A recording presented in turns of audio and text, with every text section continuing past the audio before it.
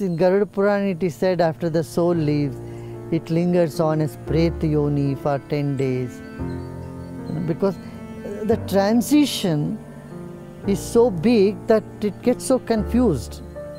Now the body it has dropped, it doesn't want to go back to the body because it looks like an excretion. The body doesn't feel like something that one wants to get into. But one is not used to the other side. This is called Pretyoni. They, they, they are in between now. And then after some time it gets used to this in between stage, then it moves on. This is where the knowledge helps.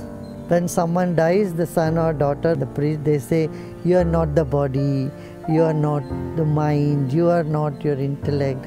Move beyond this. Let this earth element absorb the earth element in your body. Let the water in your body go to the water. Let the fire element engulf this entire thing.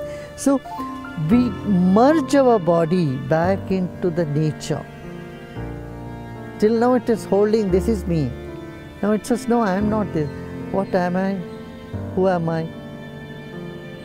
This awareness starts happening.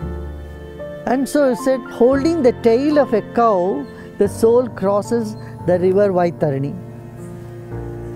Even the tail of a knowledge, even little bit of knowledge, if you hold on to, you can cross oceans.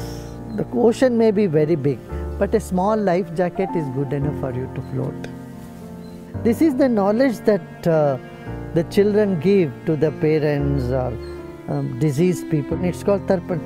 All that you see in the world is equivalent to a sesame seed. It's nothing, not much significant.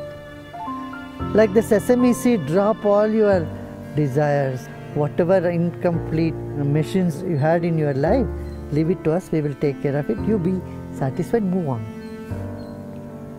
So, this encouragement by the near and dear one, even relatives, everybody, they all do tarpan. Tarpan means be fulfilled, move on.